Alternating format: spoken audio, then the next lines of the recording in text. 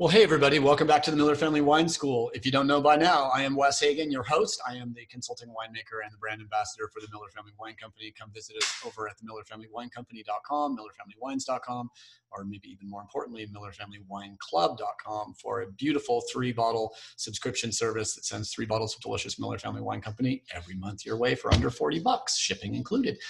Here we go. Now, today's uh, quick subject is we are going to be talking about how to find wines that I love a million wines. Yes, a million different wines are bottled throughout the world every year. I think I did the math where you had to taste a bottle of wine every 30 seconds, 24 hours a day, 365 days out of the year, and you would get about 90% through the wines produced in the world. So clearly, the great thing about uh, tasting and evaluating and buying and enjoying wine is we get to be subjective. Everywhere else in the world, they're telling us be objective, be scientific uh, you know, do the right thing, uh, you know, follow protocol. Well, in wine, if you followed protocol, and you tried to drink a million bottles, your liver would be very, very upset with you. And even if you spit those wines, your teeth would probably uh, be, dist- your enamel of your teeth would be destroyed after a couple of days putting that much wine in your mouth so consistently.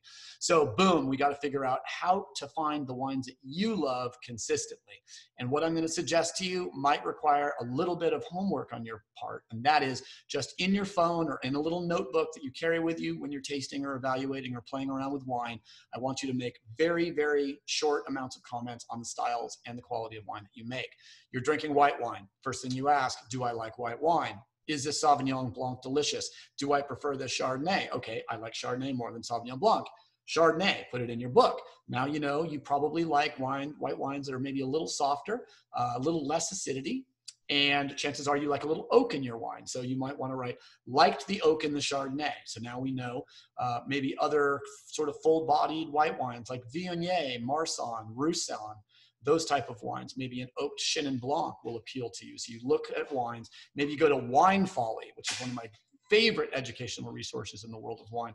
Look up Chardonnay right there in the Chardonnay chart. If you like Chardonnay, you will also like this varietal, this varietal, and this varietal. So I would say buying uh, buying uh, Madeline Puckette's Wine Folly book, winner of the 2019 James Beard Award, would be a great way to start. I'm not paid by them, but um, I am a huge fan and use their uh, use their materials quite often in my education. Uh, the next thing I would do when we move to red, realize that you know if you try Pinot Noir, ask yourself, do you prefer light-bodied reds or full-bodied reds? Do you prefer Pinot Noir or do you prefer Cabernet Sauvignon? If you prefer Pinot Noir, you want to look for Gamay. You might want to look for Sangiovese or a nice, uh, a nice Chianti Classico. Again, find the wine that you love and then see what other varietals are made in a, in a similar manner with uh, similar uh, structure. Do you like wines that have high acidity? Do you like wines with a lot of tannin? Do you like wines with a lot of fruit?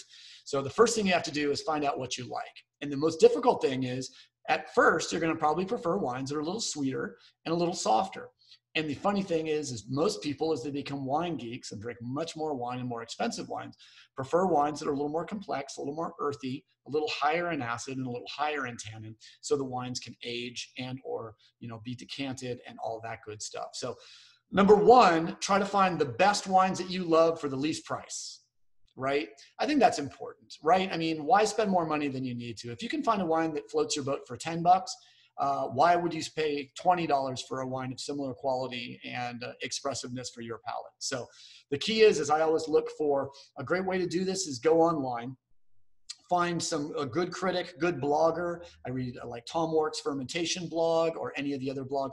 Look for my favorite 20 wines for the money, something like that and then look for uh, sommeliers or wine educators that give full lists of the wines that they love, the prices, maybe uh, the best value wines. Maybe t- pick 10 of those, go through and taste them.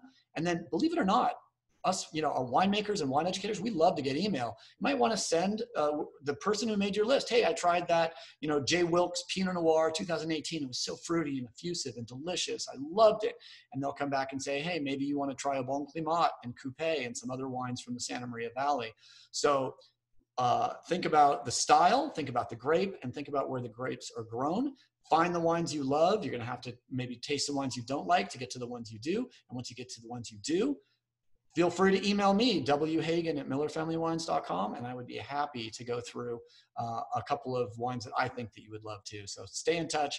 go check out millerfamilywines.com and we'll see you for the very next episode of, uh, of uh, Wes Hagen's Miller Family Wine School. So thanks for being here, guys. Hope you learned something. Cheers.